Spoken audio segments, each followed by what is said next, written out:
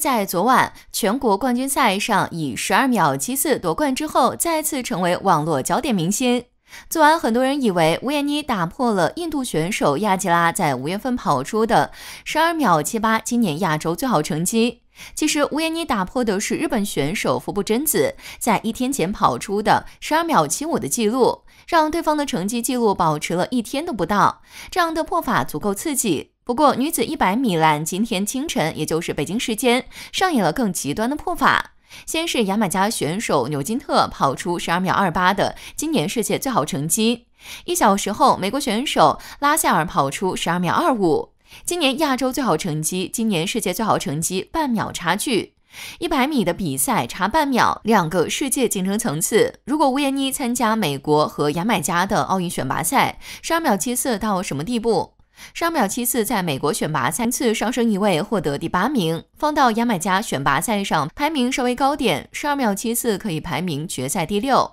这还只是美国和牙买加的女子一百米国内水准。维尼冲到十二秒七四之后，在今年的世界成绩排名榜上名列第四十三位。一个国家和地区只能取三位选手的方式来二次选择，四十三人要去掉多出来的十九位美国和牙买加选手，这样吴艳妮排名第二十四位，正好够进奥运会半决赛。似乎冥冥之中就给吴艳妮做了实力定位。但如今吴延妮这么高状态，为什么不能想着决赛？这得看看进决赛水准需要多少。以半决赛第八名为准，一九年世锦赛为十二秒六五，二二年世锦赛为十二秒五零，二三年世锦赛为十二秒六零，东京奥运会为十二秒六七。二二年世锦赛的女子一百米栏半决赛，够得上史上最疯狂，有偶然性。但显而易见的是，现在得有十二秒六零左右的实力发挥，才能谈进决赛。